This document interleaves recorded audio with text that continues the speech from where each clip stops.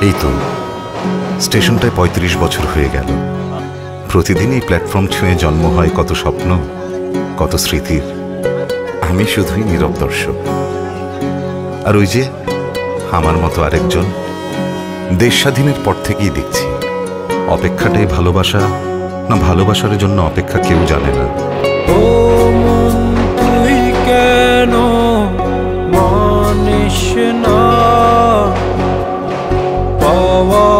স্বপ্নে বিভোর হয়ে ওকে ডাকিস না।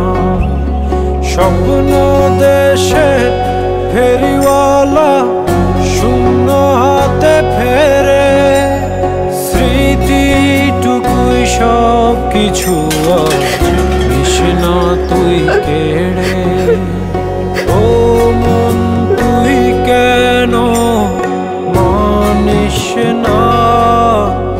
প্রতিদিনই রান্না করা খাবার? আমার ছেলের জন্য। শেষবার যখন গিয়েছিল খাবারটা হাতে তুলে দিতে পারিনি।